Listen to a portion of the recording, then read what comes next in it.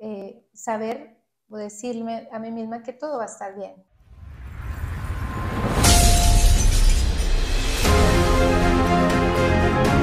Hola, ¿cómo estás? Te doy la bienvenida a un nuevo episodio de Emprendedores de Éxito. Pues en esta ocasión estoy súper contenta porque aparte de que estamos en el marco del Día Internacional de la Mujer, vamos a platicar con una doctora, aquí presente la doctora Raquel Lleverino, que es muy exitosa tanto en su profesión como también en la parte del emprendedurismo. Muchísimas gracias por acompañarnos en Emprendedores de Éxito. Muchas gracias, Ceci, por invitarme.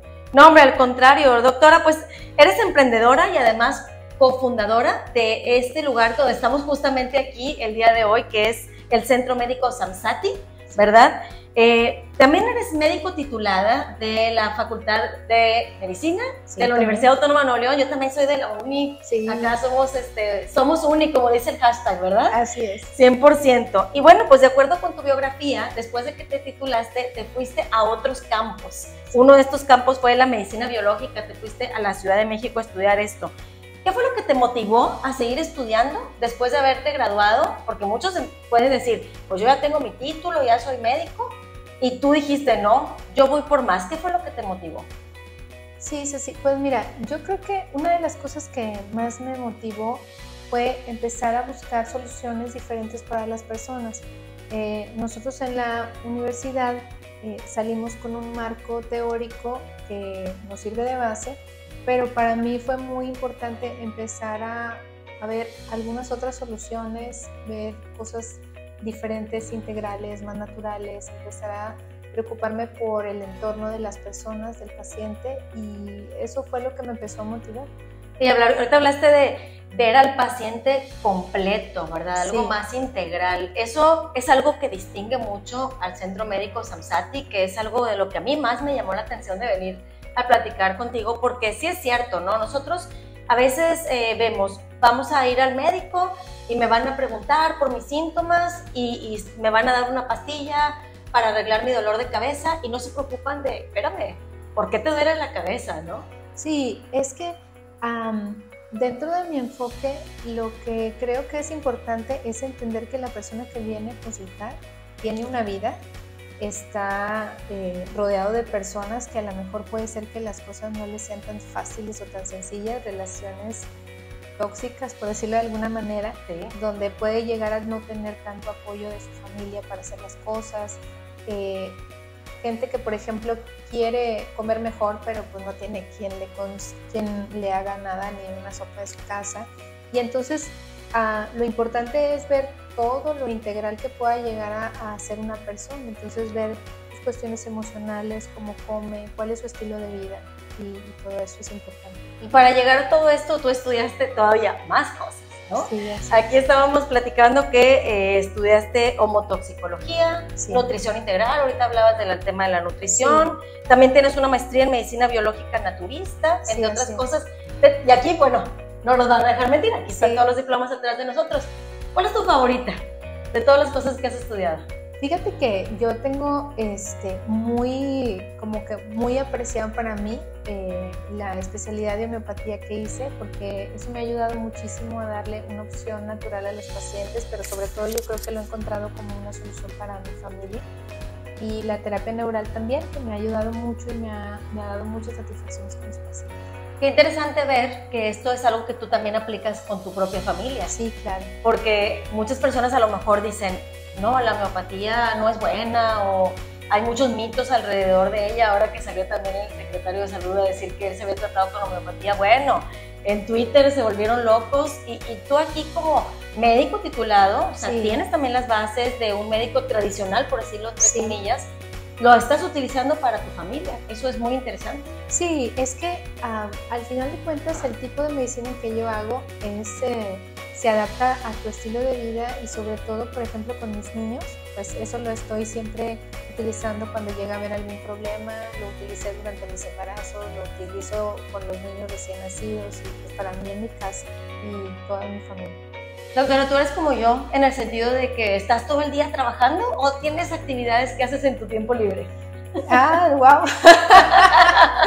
bueno, Ah, yo creo que yo empecé como tú, trabajando, este, yo creo que desde las 7 de la mañana hasta las 9 de la noche. Ahorita, eh, desde hace 10 años soy mamá, entonces yo divido mi tiempo. Tengo la mañana generalmente para consultar y luego ya en las tardes ya me, me dedico a ser mamá, a estar con mis hijos. Me encanta eso porque yo siempre veo en el caso de las mujeres que habemos dos tipos de mujeres, las que tienen hijos como tú y las que no tenemos hijos como yo. Sí. Y a veces puede llegar a pasar que entre nosotras digamos, no, pero es que ella, pues, porque como no tiene hijos, no sé qué, pero ok, está bien, lo agarro. Pero en tu caso, tú tienes muchos años con esta clínica. Esta clínica abrió, abrió en eh, centro médico, perdón, abrió en el año 2009. Sí, así es. Entonces ya dices tú, como quiera, fíjate todos los años que tenemos, estamos en 2022, pues estás viendo esto en el futuro, Claro. este, pues todavía sigues aquí, ¿cómo lo haces?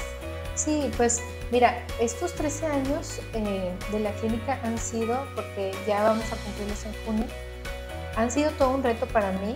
Como tú lo mencionas al principio, yo no estaba con hijos, entonces al principio creo que fue muy favorable para mí porque sobre todo los primeros cuatro años que le dediqué al centro médico fueron muy importantes para que la gente me conociera, trabajar desde, como te digo, desde muy temprano, trabajar este, sábados y domingos inclusive. Y eso fue como muy crucial para, para, pues, para levantar el, el negocio, ¿no?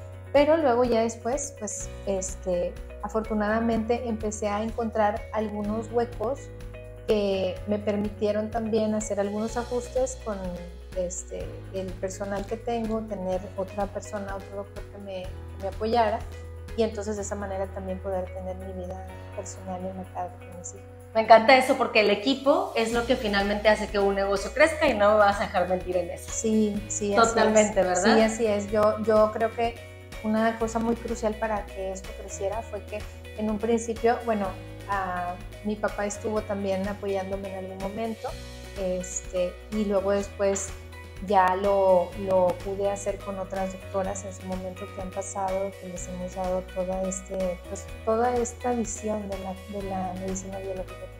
Exacto, y seguramente mucha gente que nos está viendo también estudió una profesión y también tiene la inquietud de decir, yo también quiero emprender, pero a lo mejor les da miedo o están como muy cómodos, ¿no? Con el, el sueldo, que no tiene nada de malo, pero ¿qué fue lo que te motivó a ti a decir en 2009, bueno, con permiso, yo sí lo voy a hacer?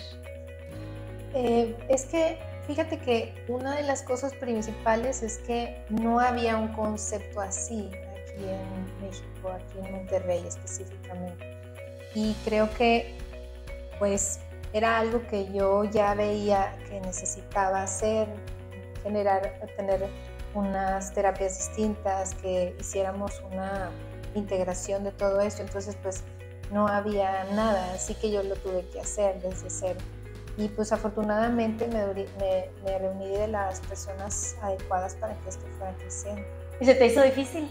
Sí, claro que sí. O sea, al principio yo creo que todo, toda persona que quiere empezar a hacer algo y sobre todo que son cosas innovadoras que la gente no conoce, obviamente te vas a, a como dicen vulgarmente, empiezas a picar piedra, empiezas a eh, generar pues más información acerca de lo que haces porque la gente no entiende algunas cosas, eh, no, las, no, las, no las conoce, no quiere decir que las rechace, simplemente no tienen información acerca de eso. Entonces, pues uno tiene que empezar desde ahí, pero no importa, o sea, yo creo que el, el trabajo diario es el que generará este proceso. Y 13 años después, hoy, ¿cómo es un día normal en tu vida? Ah, pues es, es este, eh, es, está padre, está movido. este, yo me levanto muy temprano en la mañana. Lo que inicio primero es, este, hago un tiempo para agradecer todo lo que tengo. Y luego después me pongo rápido porque necesito este, hacer toda la dinámica con mis hijos porque tengo dos, dos niños, una niña y un niño, y los tengo que llevar a la escuela. Pero luego ya después de ahí también me conecto y me vengo rápido a la clínica y luego ya me empiezo a poner a ver pues, las consultas que vaya a ver, todos los pendientes que tengo de los tratamientos, ver las cuestiones de capacitación con las enfermeras, darle seguimiento a los, pacientes también que trabaja conmigo, este, vemos todo lo que sea necesario y luego ya después para más, más tardecita, como entre 3, 4 de la tarde, ahora sí ya eh, me hago cargo de mi vida personal. En mi casa también pues hago algunas cosas con mis hijos y pues también me pongo a leer para seguir actualizándome sobre las cosas. ¡Wow! Todo eso te cabe en un solo día. Sí, pues está, está muy agotador. ya no me voy a quejar. Termino tarde. Prometo que ya no me voy a quejar. Sí. ¿Y qué es lo que más te gusta de tu trabajo?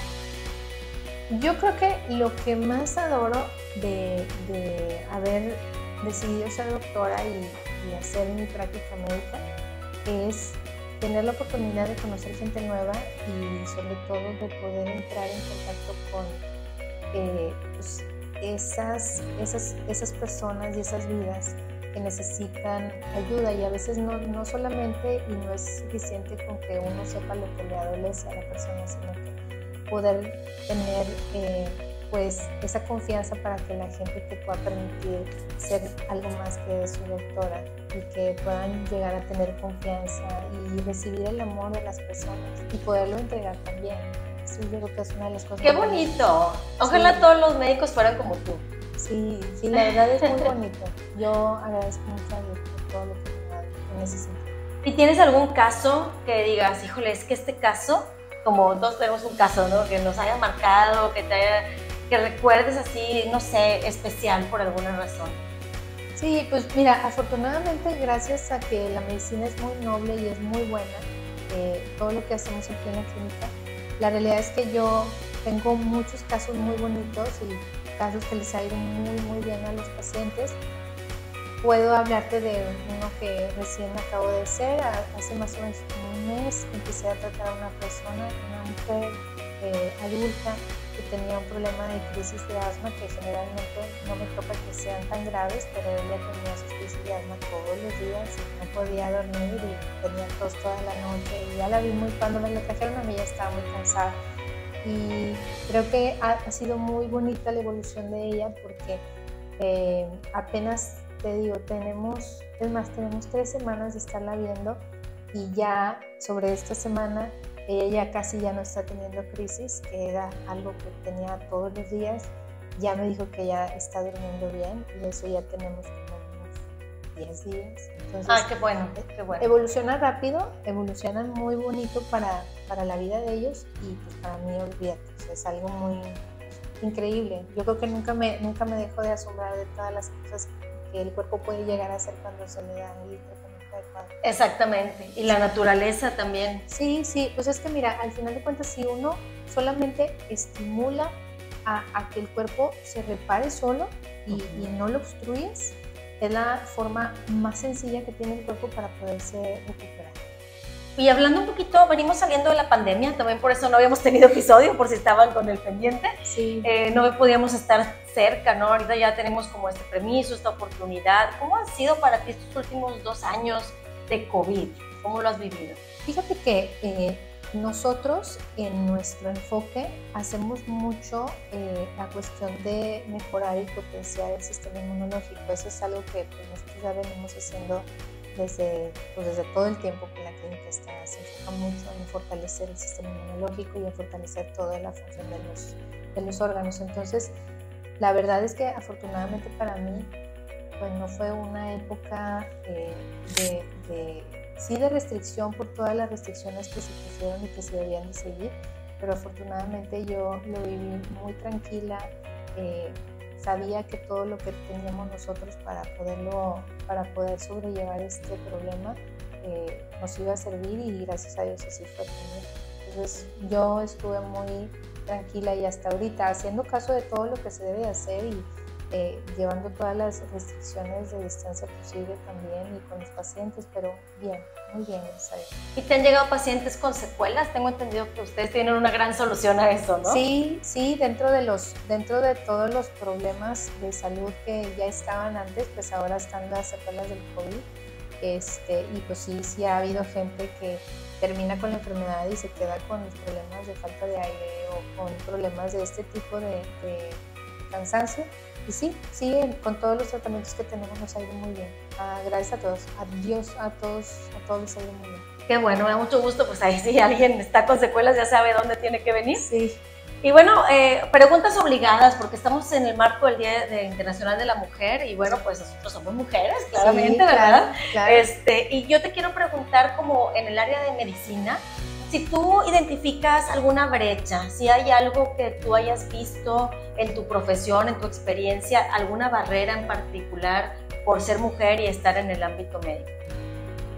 Bueno, eh, sí, a mí en lo particular en, este, en esta medicina eh, yo no he tenido ninguna barrera.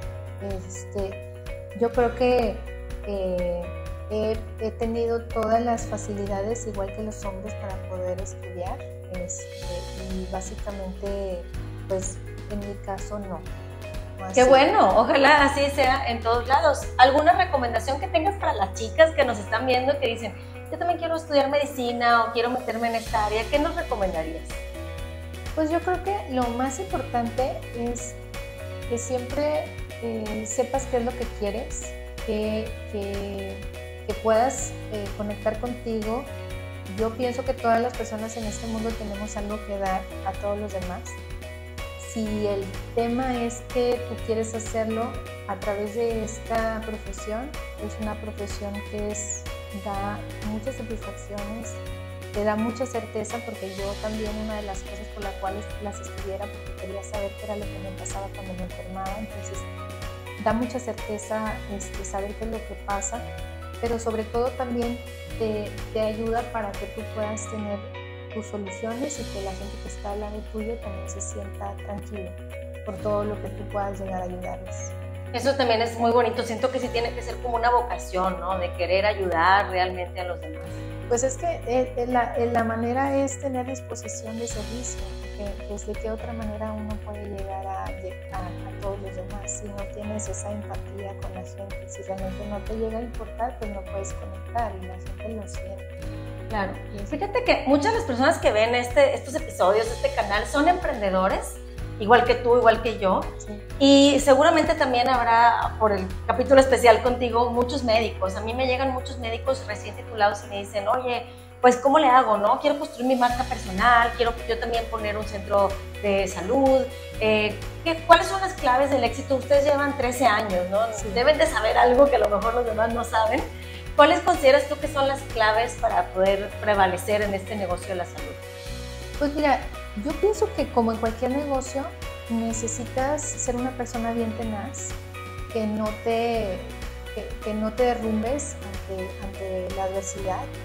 Eh, como un negocio específico de salud, creo que es importante tener un equipo que te rodee, es decir, enfermeras, doctores, asistentes, que también entiendan la misión que uno tiene, que es poderle ayudar a una persona, darle una solución de salud, pero aparte que lo, que lo quiera, que lo apapache, que, lo, que, la persona sienta que llega a un lugar donde realmente se están preocupando por él. Y, y creo que es, esto es algo muy clave para nosotros, o sea, el hecho de que la gente siempre sienta que realmente lo estamos viendo a él y no nada más el proceso de la enfermedad y ya te vas, sino realmente eh, querer de fondo, de corazón, que, que, tu vida vaya bien. Yo creo que esa es una de las cosas y pues no hay más que darle todos los días, ¿no? Exactamente. trabajar. Sí, vamos a suponer que allá afuera tengo un, un DeLorean, una máquina del tiempo, y nos vamos a subir y vamos a viajar a 2009 y te vas a encontrar con tu yo del pasado. ¿Tienes algún consejo para, los, para ti misma cuando ibas empezando? ¿Qué te dirías?